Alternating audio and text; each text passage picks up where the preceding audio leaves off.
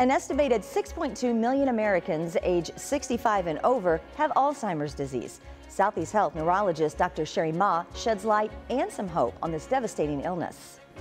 The difference between Alzheimer's and dementia, there were a lot of people think they're the same thing, but dementia is a symptom, sort of like when we think someone had a fever. So fever is a symptom, but Alzheimer's is a disease. So it's important to distinguish these two, even though in general, a lot of people thinking they're the same thing, but we should know the difference.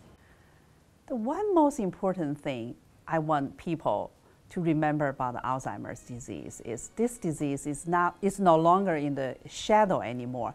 We know about this disease, and if you or your family members or your loved ones, anyone you think may have some problem with remembering things, with forgetful, and with some changes, don't hesitate. Talk to your caregiver, talk to your doctors, talk to your healthcare providers, and get it checked out.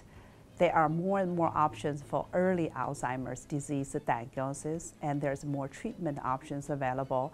And you can get the support, you can get a resource. And uh, so don't wait and get, get it checked out. That's the take home message I want to send out.